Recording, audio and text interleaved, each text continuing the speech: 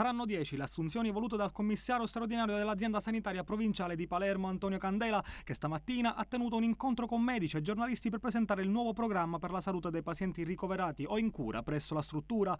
Per loro in programma anche attività sportive per il mantenimento delle condizioni di salute psicofisiche. Dal 7 di aprile, quindi tra pochissimi giorni, eh, saranno assunte 10 persone.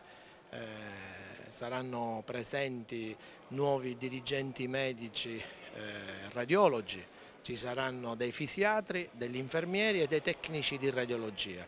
Quindi immettere 10 eh, risorse umane in questo presidio è un segno tangibile di come vogliamo oh, potenziare e migliorare la qualità che Villa delle Ginestre eh, deve offrire nell'ambito della disabilità.